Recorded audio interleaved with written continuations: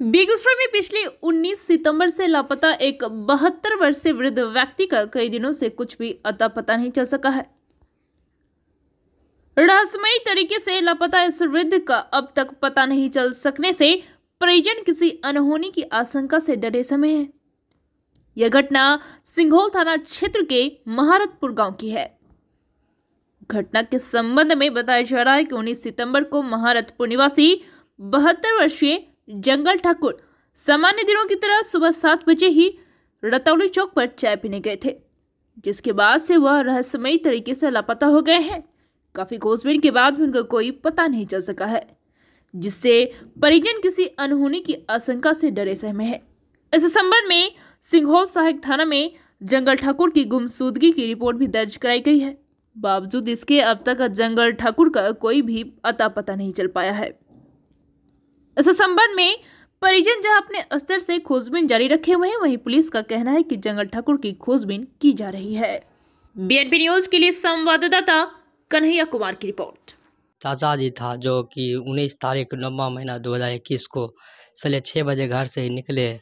अब तक कहीं नहीं बोले, नहीं कुछ कालन था, घर से निकल गए, अभी तक ना पता है। घर से कुछ नहीं बोले थे मतलब क्या देरी शाम को या सुबह चाय पहने पहनने पीने के लिए जा रहे थे रास्ता कहीं कहीं। जैसे रतौरी चौक पर चाय पीने के लिए जा रहे थे।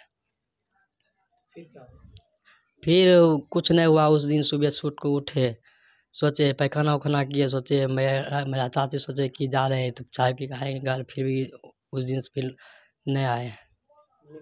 नहीं दुश्मनी किसी से नहीं है।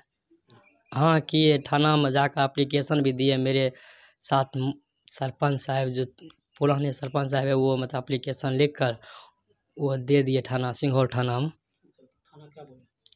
थाना बोले? कि ठीक है इसका छानबीन करेंगे अभी तक थाना से तो कोई आश्वासन नहीं मिला है फिर भी हम हम खुद खोजे मेरे भैया खोजे मेरे गाँव मोहल्ले मेरे टोले पड़ोस जितने भी आदमी हैं वो भी खोज रहे हैं फिर भी अभी तक नहीं मिले। यहाँ समस्तीपुर मुजफ्फरपुर कटिहार यहाँ तक गए थे खोजने के लिए फिर भी अभी तक नहीं मिले हैं। हाँ। अपने स्तर से पूरा छानबीन किए फिर भी नहीं मिले हैं। कुटुम उटुम सब तल पटाख किए वहाँ पर भी नहीं है। क्या लगता है आपको? क्या तो वही हम सोच रहे हैं कि आप किसी किसी इस वीडियो के माध्यम से सकल फैलाइए कहीं कहीं मिल जाए तो अति उत्तम हो। कौन थे वो?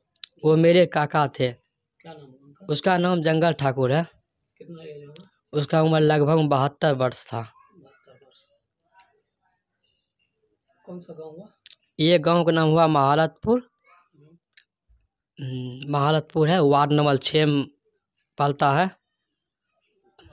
कौन सा थाना पड़ता है? सिंघौल थाना पलता है। क्या नाम हुआ आपका? मेरा नाम हुआ मन्नू कुमार।